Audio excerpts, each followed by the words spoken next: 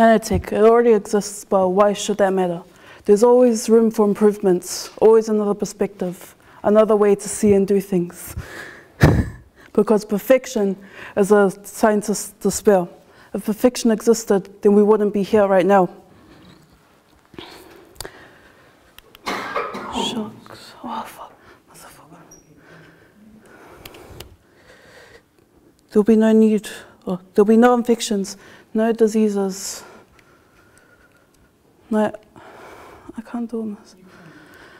No poison, no icy cold pieces of metal on your skin or even inside your body.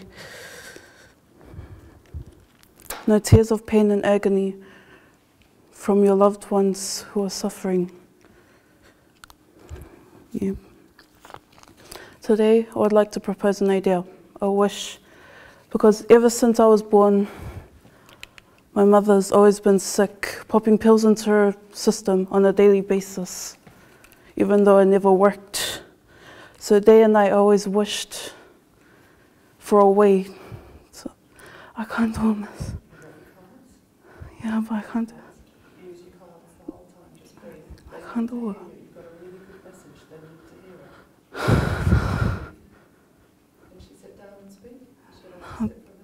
I just stop. You're amongst a group of friends.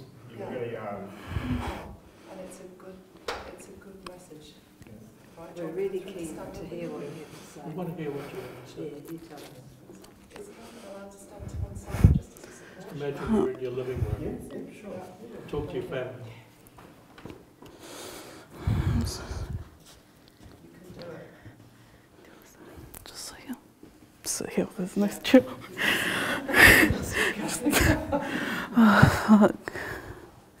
Day and I always wished for a way to restore her superhuman strength without actually hurting her.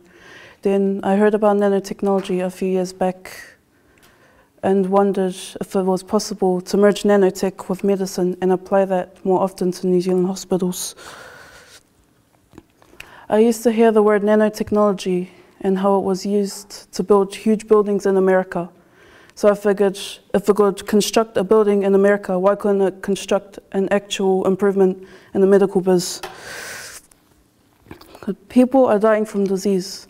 Many people may still be dying from disease at this moment. The Ministry of Health Board. What was? What am I asking? Ministry of Health Board says that the major cause of death is disease and injuries, like lung cancer, strokes, and even heart disease, because scientists have not found a solid cure. Because for every cure they make, another disease arises.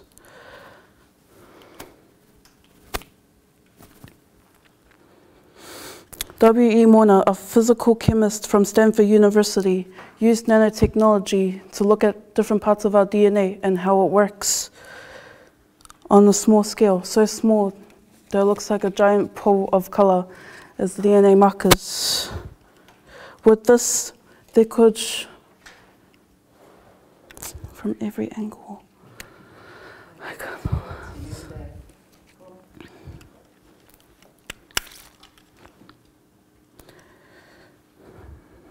I can't. I can't. Take, go to the next slide. Go to the next piece of paper. Wait. Different conditions break through. I can't do this. Oh no, I can't. I can't. Yes, I can't do it. Okay, Charlie, what's on your next card? What's on your next card? Just have a look. I really can't do it. I can't do it. It's the, the same English class. I can't do it. You're. We're, we're right with you. We want to hear the rest of it. Yeah, and you're nearly done. It's really good. I'll just use my phone. It's easier.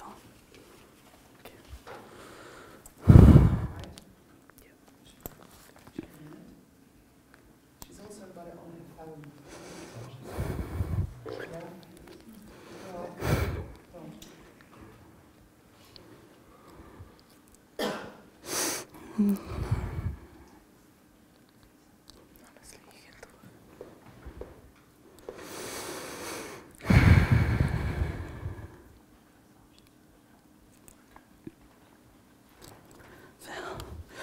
this, they could take different approaches from every angle they can think of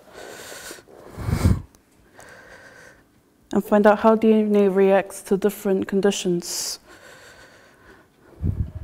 leading them to the breakthrough of curing diseases and decreasing the death rate. If this could be done in New Zealand, think about how many people would actually be fully cured from the days of suffering from almost incurable diseases. Major health risks like disease and injury can account for about one third of health loss in 2016. This proportion is now expected to change by 2016, apparently. Now, the Ministry of Health Board may be right on that, but that doesn't mean we can't save a life. Scientists, along with other fields, are the brains to innovation, so to improve what was left behind, to bring solutions to our challenges. With technology so advanced, we can use Moynihan's methods to analyze the DNA. To analyze the DNA that come from the hospitals to find another way, another cure that will reduce the harm that is inflicted on the patients, both mentally and physically. I strongly believe that if we use nanotechnology more often, in New Zealand, we could have an answer to why the patient still died and an idea on how to prevent the ending, despite all the work and tests that are run day in and day out. Speaking of running tests, aren't you kind of sick of it? Sitting in a hospital, constantly waiting for your doctor that was supposed to show up an hour ago, but instead you get a nurse. Wheeling in one of those big metal tables with jaws full of needles, tightening the strap around your arm, and sticking the icy cold metallic needle in your veins. And that's not the worst part, no. Personally, the worst part is the fact that they do this over and over again, probably at least twice a day. Taking blood every time, one tube after another. I know that it's procedure so scientists can run tests on your blood and find out ways that they could solve the problem if it were to come up again. But there's another problem that I wanted to bring up with the belief that nanotechnology could help solve it. I've never seen it, maybe because I was too young to understand, but I took a guess. I know you've felt it before too. Waiting for the good news of how they are doing, and not even the good news can bring relief to you and your families because of the bad news. To save their life, they need to go through a life threatening procedure. How fun would it be to hear that? Not fun, ever. Maybe not everyone knows this. I didn't even know this till a few months ago. There are patients that actually go through shucks, weird. There are patients that actually go through unnecessary procedures and end up dying because of it. According to Dr. Carolyn, Dean, and Gary Null, the number of necessary medical and surgical procedures is 7.5 million. The number of people exposed is 8.9 million. If nanotechnology was applied to the medical field, there would be no reason to put patients under constant procedures that not only waste time and resources, but put more lives at risk when this could have been easily prevented. Now, at the point of patients losing their lives, this idea can be both literal and emotional. Many people are injured but manage to heal after a major accident like car crashes. But what if those major accidents cause a person to lose a limb an eye, or even a vital organ. The accidents that happen in New Zealand are so dangerous and life-threatening that the New Zealand Transport Agency recorded that 164 people may have died due to car crashes last year. May not sound like much, but the number of deaths is only increasing with every passing year. So if this were the case, then the patient with the right kind of insurance would be able to have a prosthetic to replace what they lost. This may be an advantage for those who have lost a part of them, but it's only a piece of machinery that's attached to you. This may have been a huge help in getting yourself back on your feet, but emotionally you're scarred for life. But ask yourself now, how would you really feel if you were to spend the rest of your life in prosthetic? I have no right to say this, but there could be some people who are suffering because of it. Even prosthetics these days still have their limits. It may be a boost physically, but mentally, oh shucks. Not only can you lose a limb, but also a vital organ that can be crushed, and if that were to ever happen, then it becomes what seems like an endless race of time. Douglas Barley estimates that by the year 2020, 8.4 million people will die every year from injury. And if you have ever seen a severe car crash, there is always someone who has damaged organs, which leads to organ transplant. Like unnecessary procedures, organ transplants take time and delicacy. So the transplant is not damaged or infected in any way. Also puts the patients in a life-risking situation that may put them in a position that's far much dire or far much worse than the procedure was carried out. By using nanotechnology, there could be a way. Oh, yeah. By using techno- nanotechnology, there could be a way that it can be reconstructed. I messed up big time. Eh?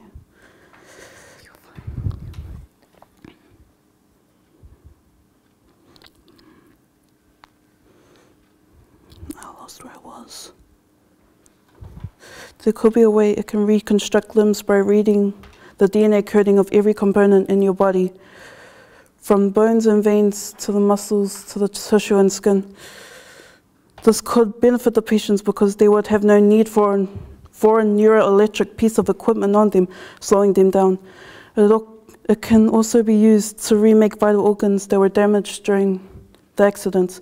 This could benefit us with the reduction of deaths and risk of putting the patient's life in a dire situation than it was before. Now, I get it may seem impossible, but since when did the impossible ever stop humans from evolving? If there is a way, and I believe that there is a way, if there is a way to use nanotechnology and medical procedures as a substitution for precautions that would usually risk a life, then not only will we benefit from saving lives, but we could improve the medical fields in New Zealand without having to send your own patients overseas because we couldn't do anything here. No more time wasted waiting for resources, no more money wasted on unnecessary procedures or medication that doesn't even work. More lives saved with something so small that it seems invisible to the naked eye.